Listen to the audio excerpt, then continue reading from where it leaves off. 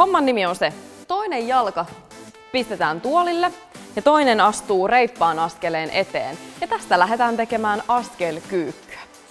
Ja aina askelkyykkyä tehdessä, tai oikeastaan mitä tahansa kyykkyä tehdessä, on tosi tärkeää, että polvet ja varpaat kulkee samaa linjaa, eli se polvi ei lähde sieltä kääntyilemään.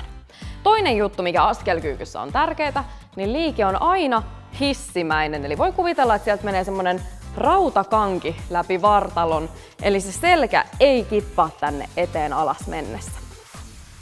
Meillä on tulossa 18 per puoli, eli yhteensä 16.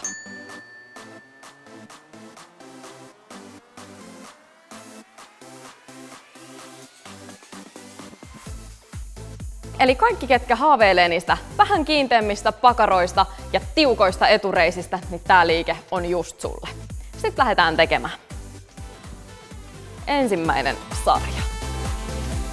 Yksi, kaksi, kolme, neljä, viisi,